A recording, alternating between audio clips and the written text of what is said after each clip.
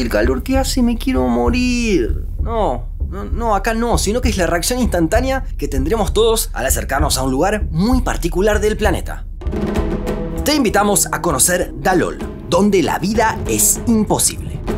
En el cuerno de África, cerca del Mar Rojo y de la frontera con Eritrea, nos encontramos con Dalol, un cráter volcánico ubicado en Etiopía. No es uno cualquiera, sino que nos transporta a un escenario de ciencia ficción. Estas imágenes no fueron generadas por inteligencia artificial, sino que componen nuestro planeta. Amarillo, ocre, marrón, rojo, naranja, verde. En pocos metros podremos ver todos esos colores gracias a una combinación de factores muy particular. Tal vez algunos recuerden la fuente prismática de Yellowstone, que ya hemos explorado. Pero en el caso de Dalol, esta magia de colores está en otro nivel. ¿Se puede visitar? Sí, está habilitado el lugar para el turismo, aunque como veremos existen varias complicaciones. Pero, ¿cómo es que existe un lugar así? Además de estar en medio de un desierto, Dalol se ubica en el Valle del Rift, un lugar al que le dedicamos un video completo. Como vimos allí, se trata de una región muy particular, en la que las placas tectónicas africana y somalí se están separando, lo que provoca que la Tierra literalmente se divida. Pero, en el mientras tanto, el lugar es un paraíso para los geólogos, ya que confluyen varios motivos que lo hacen único. Por empezar, la corteza terrestre es especialmente estrecha en esta parte de la Tierra, inferior a los 15 kilómetros. Es que nos encontramos en medio de una zona muy deprimida, conocida como Depresión de Afar. De hecho, cuenta con el punto más bajo de toda África. Se trata del lago Asal, ubicado en Djibouti y 155 metros debajo del nivel del mar. En distintas etapas geológicas pasadas, el agua salada del Mar Rojo ingresaba en esta región, Luego se evaporaba, pero la sal quedaba allí y fue formando distintas capas. Mientras tanto, bajo la superficie pasa de todo, ya que el magma del interior de la Tierra está muy cerca y empuja hacia arriba corrientes de aguas subterráneas que traen una variedad única de elementos. Además de las sales, se suman hierro, potasio, magnesio y azufre. A esto hay que agregar la última gran erupción freática, en 1926, que hizo que se formara el volcán Dalol. Toda esta combinación de factores provoca que nos podamos encontrar con estos paisajes tan particulares. Y para los fanáticos de los récords, ahí va uno. Es el volcán terrestre más bajo del mundo alcanza los 45 metros debajo del nivel del mar. Así que para llegar a la cima del Ojos del Salado, el volcán más alto del planeta, hay que ascender nada menos que 6.900 metros. Como dijimos al principio, las condiciones climáticas del lugar son muy especiales. El calor es insoportable, hasta para los más fanáticos del verano. Está clasificado como árido cálido, propio de lo que sucede en todo el Sahara, pero en este caso es una versión bien extrema. Tal vez allí no se marcó el récord extremo en un termómetro, como vimos en un video anterior, pero estamos convencidos de que a largo plazo es el lugar más cálido de todo el planeta. Pensemos que la temperatura promedio a lo largo del año es de 34,6 grados. En junio, el mes más cálido, la temperatura máxima diaria en promedio alcanza los 46,7 grados. Y peor aún, no tenemos respiro. En los meses menos cálidos, la temperatura mínima no baja de 24,6 grados. Y sí, puede llamarnos la atención, pero hay seres humanos que optan por este entorno para vivir. No específicamente en el cráter del volcán, pero sí en este desierto, llamado Danakil. El pueblo Afar vive aquí de forma nómade desde hace más de mil años. Se pueden ver en nuestros días caravanas de personas con camellos que trasladan bloques de sal como forma de ganarse la vida. Para conseguirlos, tuvieron que soportar jornadas extenuantes bajo el sol infernal del desierto. Es evidente que no es nada fácil vivir en esa región, pero específicamente en Dalol, no solo no es fácil, sino que es directamente imposible que haya vida.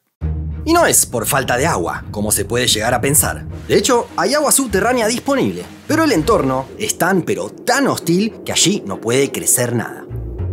Hace algunos años, un grupo de investigadores había llegado a la conclusión de que algunos microorganismos podían vivir allí. Sin embargo, unos años después se comprobó que no es así. Lo que parecía ser vida propia del lugar en realidad estaba relacionado al aire o a los humanos que visitaban el lugar.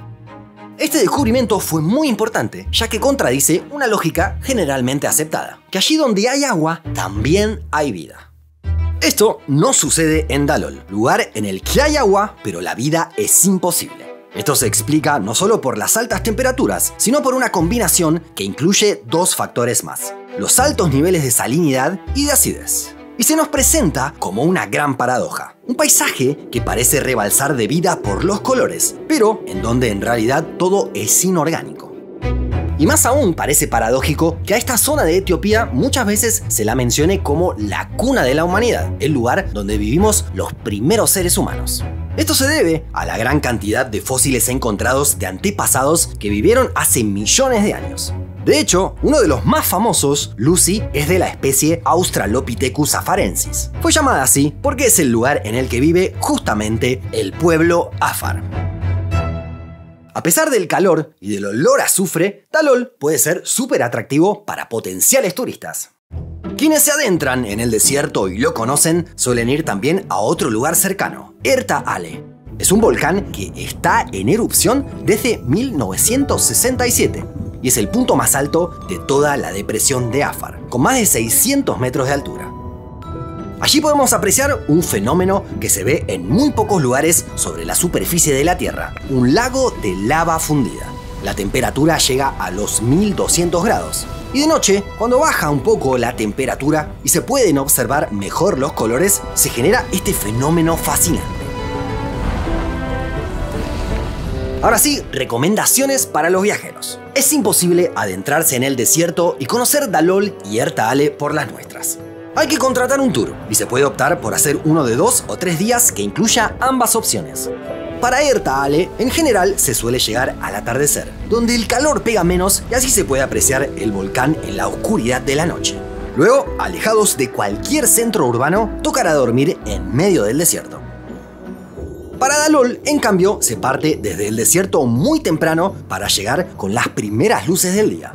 De esta forma, podremos apreciar todos sus colores antes de que el sol haga mayores estragos. Igualmente, ni se les ocurra ir en verano. Solo en los meses de invierno puede ser soportable el calor de esta depresión, donde la temperatura se concentra y no puede escapar.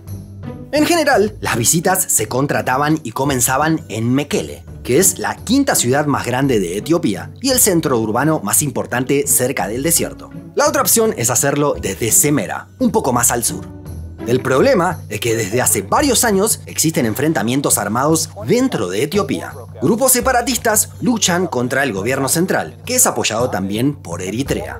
Existen algunos cálculos que afirman que se trata de la peor guerra de este siglo, ya que se cobró 600.000 víctimas civiles, si se incluyen bombardeos, matanzas y personas que no pueden recibir atención médica o alimentación. A esto se pueden incluir los combatientes, que pueden ser entre 100.000 y 200.000 personas más.